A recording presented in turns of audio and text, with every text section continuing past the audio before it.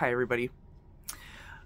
Okay, so there's this is something that I um, wanted to share. When I go out in public, because in you know, um, you know, I usually like I shut it down. I'm not out there. I don't. I don't do that. It's not for me to do. It would be wrong for me to do that because I need permission to read somebody. Okay. However, um, there have been times, not very many, but there have been times where I guess you could call it I, that I Theresa Caputo'd someone.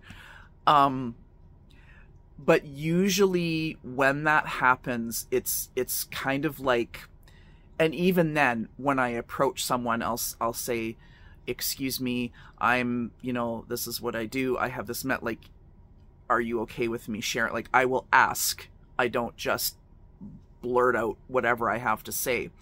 But there have been a number of times when I have been in public where it's like they literally will. I, I even tried to walk away and they literally won't. I mean, I literally can't.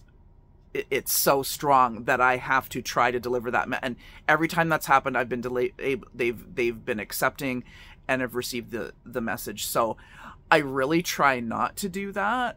Um, but I'm not gonna. I I have um I have done that before, but again, like I really try to be careful about intruding upon people's energy and space.